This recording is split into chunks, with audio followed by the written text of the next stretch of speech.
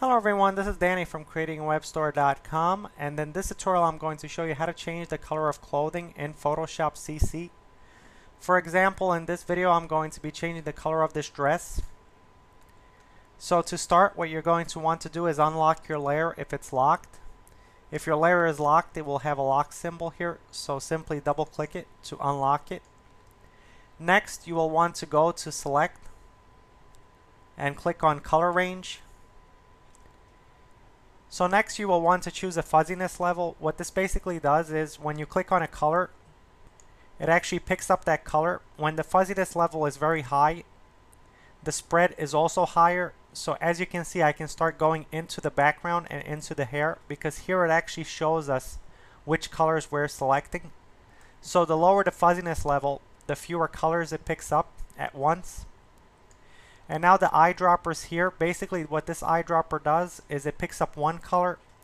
And what this eyedropper does is it actually picks up multiple colors when you click on them.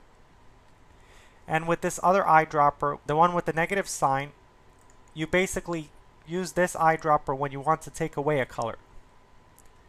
So with the plus sign eyedropper selected, simply hold down the shift key so that you can select multiple colors at once and simply drag.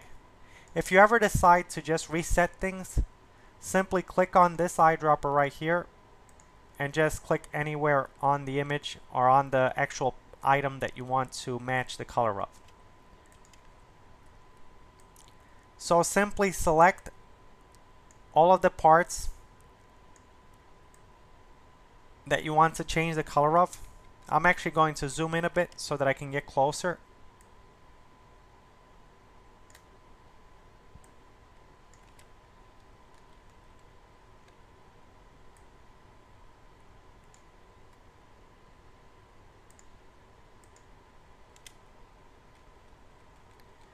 And now when you're happy with the results, simply click on OK. Also make sure that invert is not selected and click on OK. And now what we're going to do is we're going to hold down the Option key or the Alt key. Since I'm on a Mac, I will be holding down the Option key. If you're on a Windows, you're going to want to hold down the Alt key. And then simply go here where it says Create New Fill or Adjustment Layer and then left click on hue saturation while holding down that option key or alt key. And now simply enter in a name. In this case I will just enter in dress and click OK. And now you're going to want to check off colorize in this properties box here. And now I'm going to zoom out a bit so you can see what's going on. I can basically change the color of the dress to my desired level.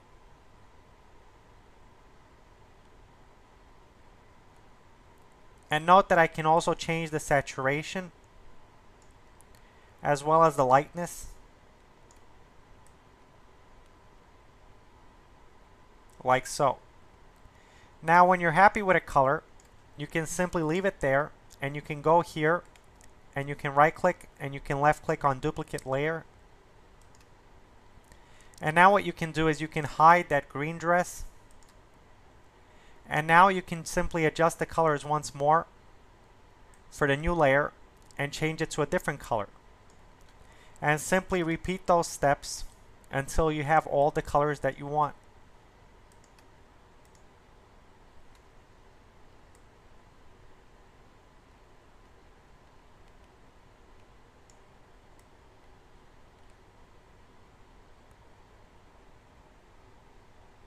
And basically, that's that.